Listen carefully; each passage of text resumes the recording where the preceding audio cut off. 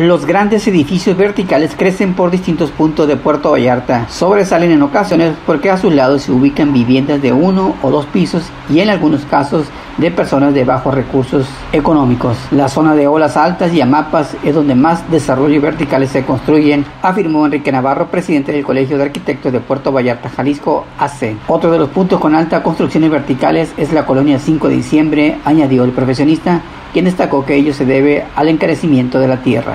Escuchemos al presidente del Colegio de Arquitectos de Puerto Vallarta, Jalisco AC, Enrique Navarro. Vallarta, este, como todos sabemos, no hay mucho territorio.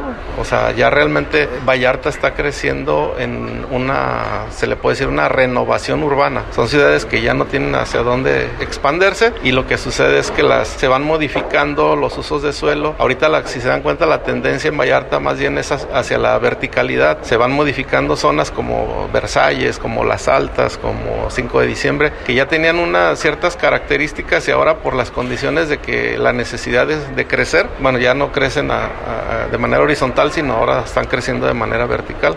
Destacó que este tipo de viviendas verticales pueden dar buenos resultados con una serie de estudios y ciertas medidas. Escuchemos de nuevo al arquitecto Enrique Navarro. Creo yo que eso puede, puede dar buenos resultados, pero con obviamente con estudios y, sobre todo con ciertas medidas, ¿no? O sea, sin, sin excesos, porque desgraciadamente eso es lo que ha, sucedido, que luego las autorizaciones se exceden, este, o los intereses, pues, ya sea personales, funcionarios, se exceden y, y se viene el desorden, el desorden urbano, tanto en cuestión de imagen como cuestión de servicios e infraestructura.